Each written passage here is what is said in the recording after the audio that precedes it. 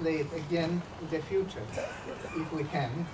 Uh, now I introduce uh, my colleague and friend, which is a professor of uh, guitar in St. Thomas, St. Thomas uh, University. He went recently and played concert in Mexico, uh, and he couldn't make one of the rehearsal because of that, but we still rehearsed, and I give him the microphone to say something about the concert. It's short. It's, okay, maybe you have to step out. I can stand here. Can you hear me? No. well, as he said, I'm a professor uh, for profession, so that means I, I can speak loudly. When I retire, I'm going to become a minister of some sort, I'm sure. a minister of guitar, maybe. But I promise you, not a politician, okay?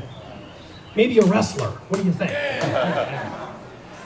Jeffrey Van is the godfather of the guitar in the Twin Cities. He started a program at the undergraduate level and was one of the first people to start a graduate level guitar program at the University of Minnesota many decades ago. I was so lucky to have studied with him from 1975 through my bachelor's and master's and even doctorate degrees.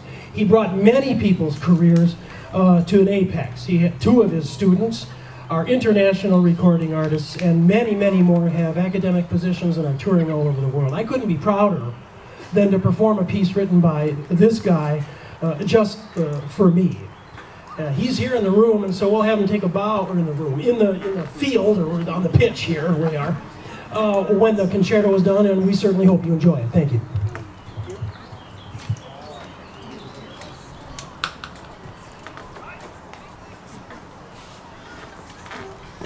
That was my best wrestler folks. How'd